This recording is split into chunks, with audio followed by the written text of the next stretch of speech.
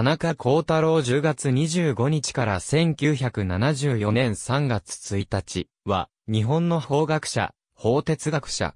法学博士、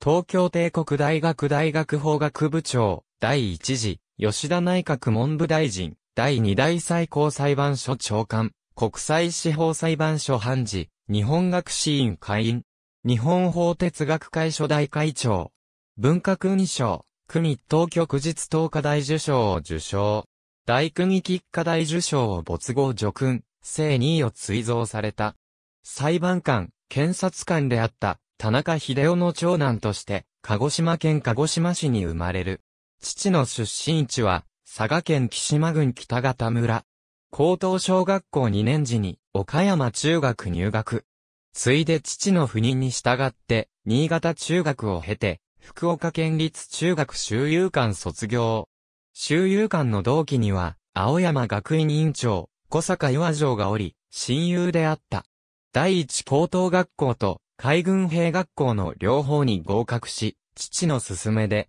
第一高等学校へ進学。卒業後は、東京帝国大学法科大学法律学科に進学。在学中の1914年には、高等文官試験行政科に首席合格している。1915年、東大を首席で卒業し、恩師の銀時計を授かる。同期には、唐沢俊樹らがいた。内務省に勤務するが、1年半で退官。1917年に、東京帝国大学助教授となる。この頃、周遊館、一校、東大の先輩である、塚本虎次の紹介で、無教会主義キリスト教の内村勘三の門下生となっている。欧米留学後、1923年に東京帝国大学教授に就任、商法講座を担当した。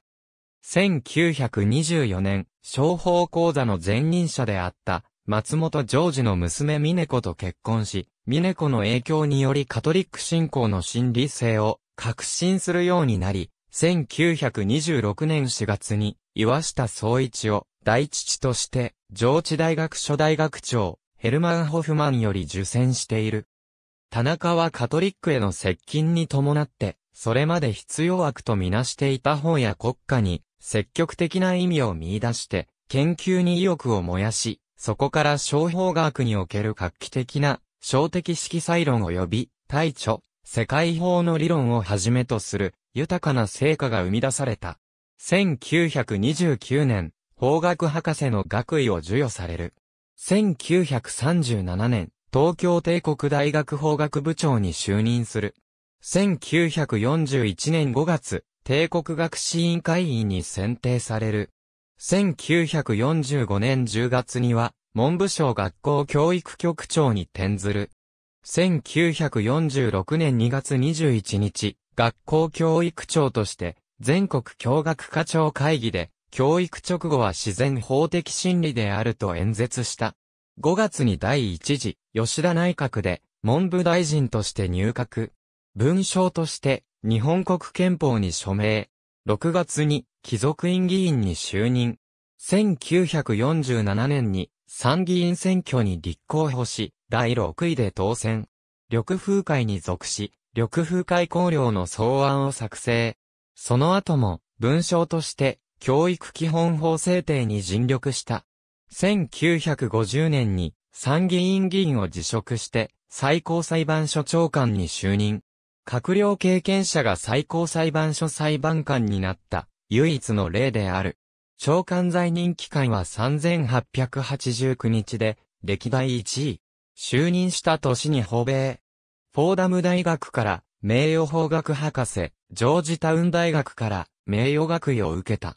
1949年に、未部知前長官時代に発生していた最高裁判所、誤判事件については1950年6月24日に、担当4判事を1万円の過料を課すことで、決着させた。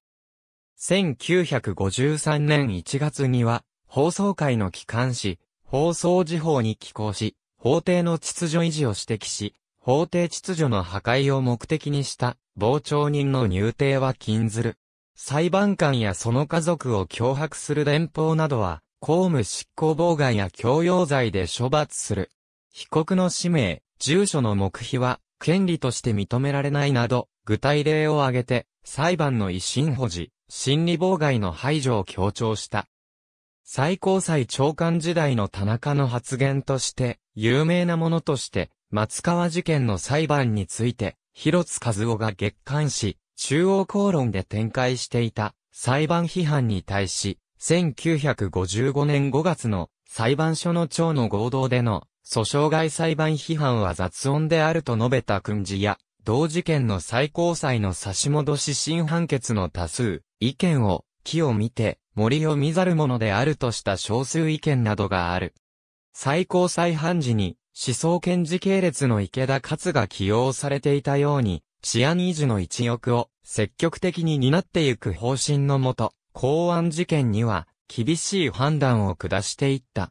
レッドパージ訴訟では最高裁大法廷の裁判長として、レッドパージを GHQ の指示による超憲法的な措置で解雇や免職は有効と判決した。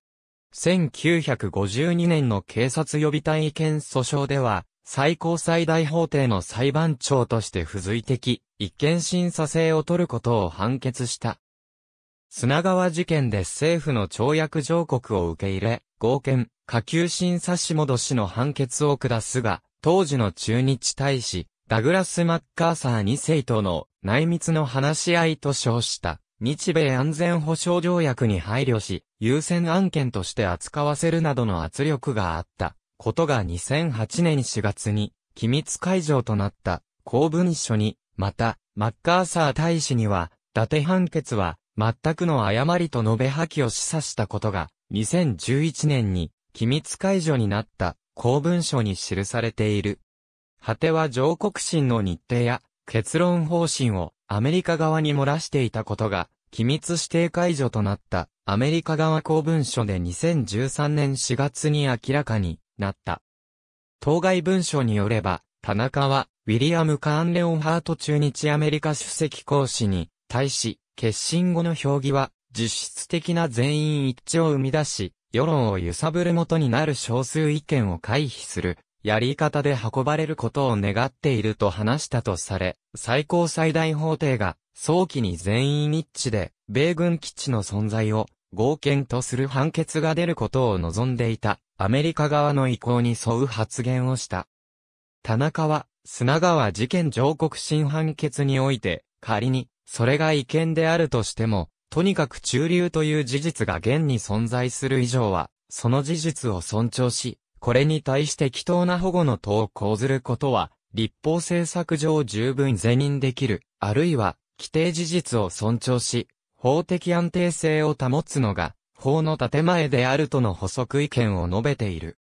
田中長官の砂川事件判決に関して、機密解除された、米国公文書の具体的内容は、内密の話し合いで、田中長官は、日本の手続きでは、審理が始まった後、判決に至るまでに少なくとも数ヶ月かかると語った、共通の友人宅での会話の中で、田中幸太郎裁判長は、砂川事件の判決はおそらく12月であろうと考えていると語った。裁判長は、争点を事実問題ではなく、法的問題に閉じ込める決心を固めていると語った。彼の14人の同僚裁判官たちの多くは、それぞれの見解を長々と弁じたがる。裁判長は、決心後の評議は、実質的な全員一致を生み出し、世論を揺さぶる元になる少数意見を回避するような、やり方で運ばれることを願っていると付言した田中裁判長は、時期はまだ決まっていないが、最高裁が来年の初めまでには判決を出せるようにしたいと語った。裁判官の幾人かは手続き上の観点から事件に接近しているが、他の裁判官たちは、法律上の観点から見ており、また他の裁判官たちは、憲法上の観点から問題を考えていることを、田中裁判長は示唆したである。1956年2月25日は、最高裁裁判官会議で、公権力の行使や国会史の形成に携わる公務員には、日本国籍が必要との内閣法制局の見解を準用して、外国人を司法修習生に採用しないことを決定して、司法修習生の国籍条項を設置した。長官在任中に上告事件が急激に増えて、事件処理が遅れた1957年頃には、憲法問題のみを扱う最高裁と、民事、刑事を扱う上告裁判所を設置する、最高裁機構改革法案に意欲を見せていたが、最高裁機構改革法案は、廃案となった。1961年から1970年にかけて国際司法裁判所判事を務めた。5つの事件と1つの勧告的意見に関わり、2つの個別的意見と2つの反対意見を残した。特に、1966年の南西アフリカ事件判決につけた長文の反対意見は有名であり、非常に権威のあるものとして今日でもしばしば引用される。ジャーナリストの末波康氏は、砂川事件差し戻しについて、判決翌年の1960年に、アメリカ側に、ICJ 判事選挙立候補を伝え、支持を取り付けていることから、アメリカの論考交渉狙いだったのだろうと見ている。1970年2月9日、帰国。1974年、新宿区の聖母病院において死去。田中幸太郎聖公会からカトリックに改宗していた、妻、峰子の影響を受けて、無教会主義キリスト教からカトリックに改宗している。以後、カトリックの立場からの反共産主義を唱えた。なお、大学時代に、お月様の妖精と、自ら呼んだ女性に恋焦がれたエピソードもある。第二次世界大戦末期には、南原茂、高木康からと東京帝大の地米派教授グループによる対米終戦交渉、カトリック信者としての人脈を活かしてのローマ、教皇庁を通じた対外和平工作にも関与した。敗戦まで16年獄中にいた日本、共産党幹部の志賀義雄が一校の同窓生であることもあって、食料や本などの差し入れを続け、戦時中は軍部にとって要注意人物とされた。しかし、最高裁判所長官就任後に、田中長官、共産主義の仮面を通撃、目的は、憲法の否定と報じられるなど、戦前も戦後も、一貫して、反共主義者であった。しかも退官後に、東京新聞へ寄稿した中で、独立を保障されている、裁判所や裁判官は、政府や国会や与野党に気兼ねをする理由は全然ないとまで述べたという。東京新聞は、コラム、必戦で、砂川事件大法廷判決の背景を引き、抗眼とは、このような人物を言うと評している。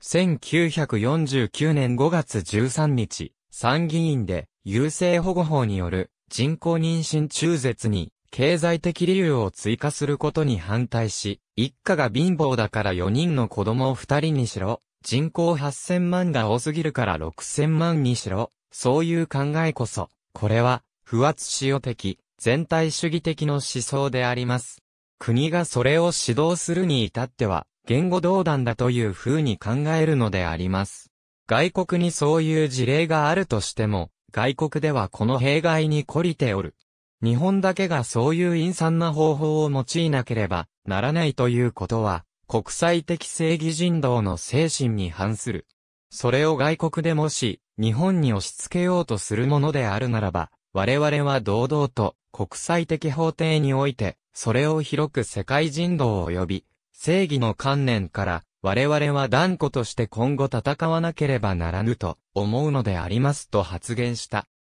1957年8月19日の皇太子、秋人親王と正田道子との軽井沢のテニスコートでの出会いは、田中幸太郎がカトリック人脈である小泉晋三、吉田茂らと共に演出したとされており、田中もその出会いの場に立ち会っている。松本常時門下であり、門下生に、鈴木武夫、西原寛一、石井照久、片山金賞などがいる。実定に、飯森十人がいる。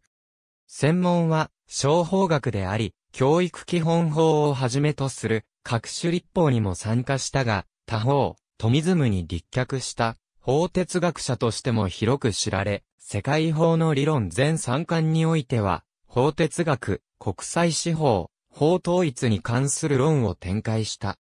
商法学者として研究を始めた彼は手形上の法律関係が証券に結合された金銭支払いを目的とする抽象的債権が点々流通する性質から売買等の通常の契約関係と異なることやその強行法規制、技術法的性質、世界統一的性質を基礎づけたことで知られている。